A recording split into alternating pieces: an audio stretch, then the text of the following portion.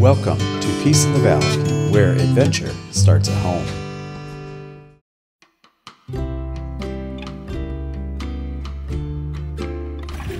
Forklift or tractor, what would you get?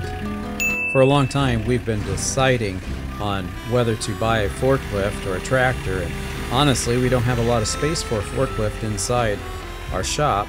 We would rather use it for production equipment, but we just realized we got to have something because here lately we've been unloading trucks uh, sometimes several times a week, and to borrow somebody else's forklift or expect a lift gate on each truck just gets to the point where we can't always expect that to happen. So we had to decide forklift or tractor.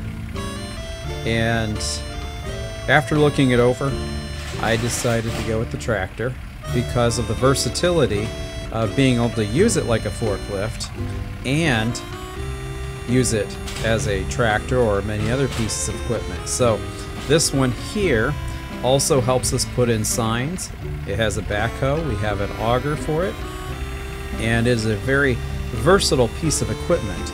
A forklift would be for one thing only, and that would be to move pallets around. We couldn't do anything else but that. So we ended up, I believe, making a good choice by going with the tractor. What are your thoughts? Let me know in the comments.